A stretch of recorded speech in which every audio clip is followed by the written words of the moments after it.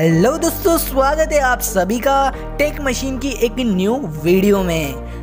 दोस्तों, आज की इस वीडियो में आप देखने वाले हो कि आखिरकार फैक्ट्री में इस प्रेस को कैसे बनाया जाता है। दोस्तों, इस प्रेस का यूज़ आप अपने जनरली कामों जैसे कपड़ों को प्रेस करने के लिए करते हो। लेकिन शायद आप यह नहीं जानते होंगे कि इस फैक्ट्री में कैसे बनाया जाता होगा। दोस्तों, आज की इस वीडियो को आप एंड तक ज़रूर देखें, क्योंकि वीडियो बहुत ज़्यादा नॉलेजफुल होने वाली है और आपको इसमें कुछ नया ही देखने को मिलने वाला है। तो चलिए शुरू करते हैं बिना किसी देरी के। दोस्तों आयरन प्रेस की इस मैन्युफैक्चरिंग में सबसे पहले इनके प्लास्टिक वाले पार्ट्स को तैयार किया जाता है। इसके बाद रोबोटिक मशीन द्वारा इस पार्ट्स के पिछले वाले हिस्से पर कट लगाया जाता है। जिसके अंदर से वायर को गुजारा जाएगा।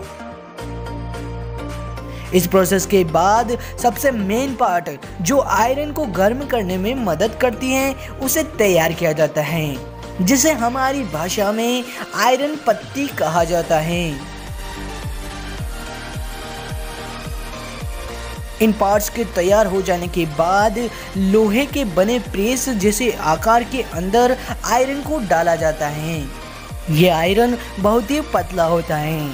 इसके सूख जाने के बाद आगे की प्रोसेस को स्टार्ट किया जाता है।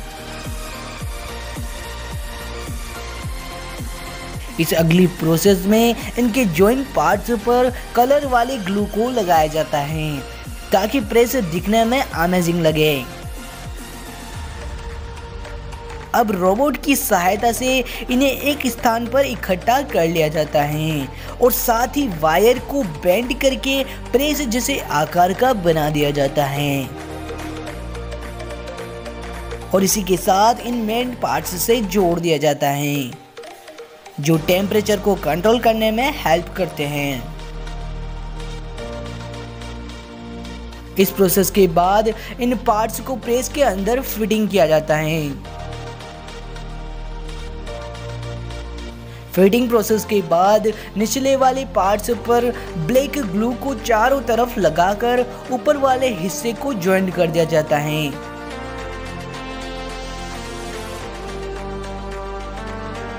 और साथ ही पिछले हिस्से में पीसीबी के साथ केबल सर्किट को लगा दिया जाता है।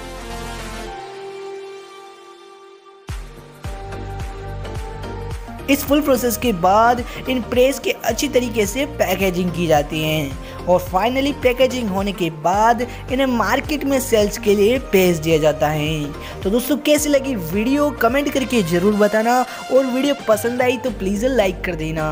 Thanks for watching this video